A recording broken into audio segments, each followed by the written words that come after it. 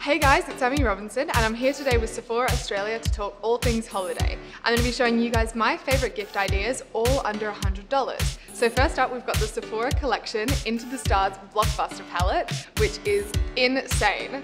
This palette has got 80 eyeshadows, 20 lip glosses, 10 cream eyeliners, bronzers, blushes, highlighters, brow powders, and even colour correctors.